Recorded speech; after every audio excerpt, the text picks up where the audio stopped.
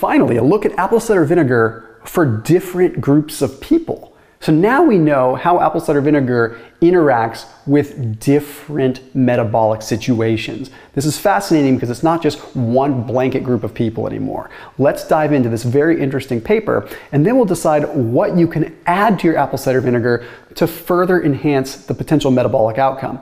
There is a link down below for 30% off your grocery order through Thrive Market. If you're someone that's watching carbohydrates, it's probably one of the best places for you to find good foods that are still within that category because you can go to Thrive Market, you can sort by gluten free, you can sort by sugar free, you can really sort by foods that are lower carb or keto friendly. Really makes it easy. I mean, imagine going into a grocery store and being able to like check a box that eliminates things with gluten, then check another box that eliminates things that have sugar. I mean, it's like you're removing things that don't matter for you at the grocery store and you're left with exactly what would work for you. It is super cool. And again, because you're watching my videos, that is a 30% off discount link for your entire grocery order. And you get a free gift worth up to $50 when you use that link. So check them out after this video and a big thank you for the continued support on this channel to Thrive Market. So, fascinating study published in the journal Diabetes Care took a look at eight subjects that were insulin sensitive, 11 subjects that were insulin resistant, and 10 subjects that had type 2 diabetes. So, all the way past insulin resistance to being diabetic. Okay, what they did is they gave them 20 grams of apple cider vinegar or a placebo.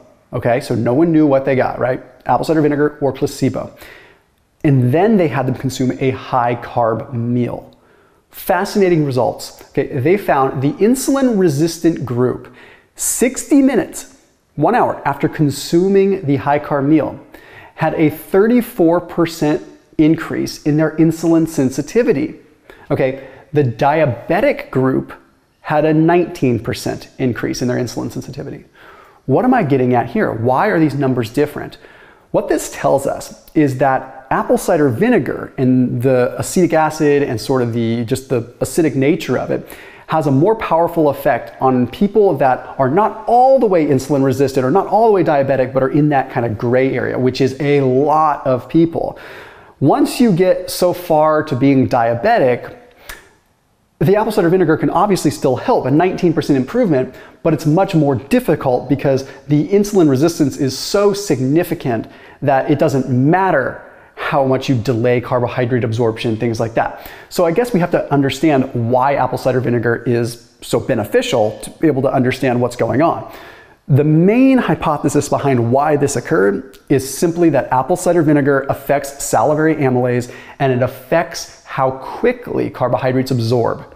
Okay, so vinegar along with a meal, a high carb meal, slows the absorption essentially. It slows the breakdown of disaccharides into monosaccharides and ultimately just to absorption. So that means that in someone that is insulin resistant, it gives their body an opportunity to catch up. It's going slow enough that an insulin resistant individual can still deal with it, but not slow enough that a type 2 diabetic can deal with it as well. That doesn't mean if you're type 2 diabetic, you should not concern yourself with apple cider vinegar. 19% is still significant, but insulin resistance at 34%, that's a really significant improvement. But there's some other things that we might be able to do to potentially help out even more. So when you look at turmeric, for example, okay, curcumin is very interesting because there's some documentation that curcumin might activate what's called AMPK. AMPK is the energy sensor within the body. Okay, so that energy sensor is going to say, okay, we need to increase the amount of fuel going into the cell because energy demand is high. So if you have something like turmeric with your apple cider vinegar, it might increase the ability of glucose to get into the cell. Another thing that we could potentially add is even some fresh ginger.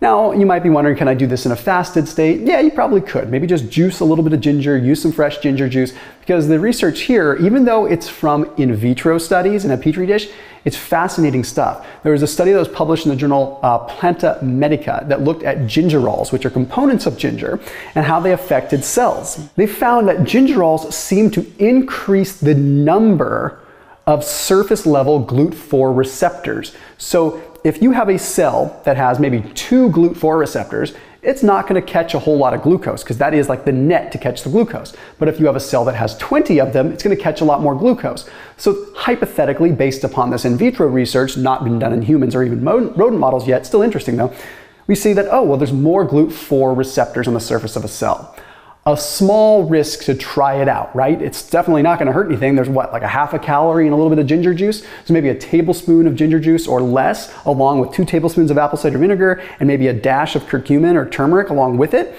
That could be a nice little cocktail to mix up based upon the research. No guarantees, no promises but very fascinating, especially if you're someone that is really walking that line of insulin resistance prior to type 2 diabetes. Remember, I'm not a doctor. I just read the research and articulate it well, but thought this would be interesting. As always, I'll see you tomorrow.